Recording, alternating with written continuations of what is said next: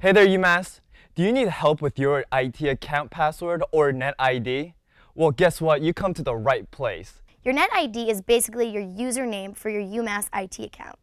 You will use it to connect to Wi-Fi on campus, access your email, Spire, classroom computers, and more. If you forgot your NetID or you need to change your password, start by visiting Spire. Go to umass.edu and click on the Spire link at the top of the page.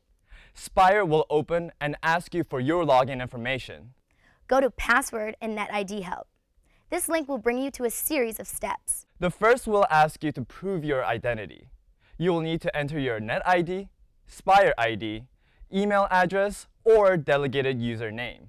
To confirm your identity, you will have to enter your birth month and day, as well as the last four digits of your social security number. If you're an applicant and you forgot your NetID, it'll be emailed to you along with a temporary password. If you need to change your password, you'll go to step two and get an activation code to reset your password.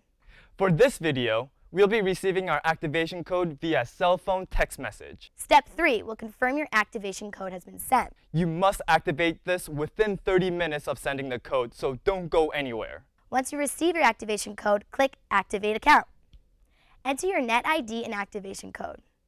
You will then be able to select a new password.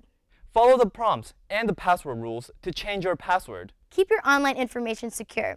Change passwords twice a year. Remember that when you change your NetID password, your Exchange email password will also be changed. But if you're a Google Apps user, changing your NetID password won't affect specific passwords in your mobile devices and email apps.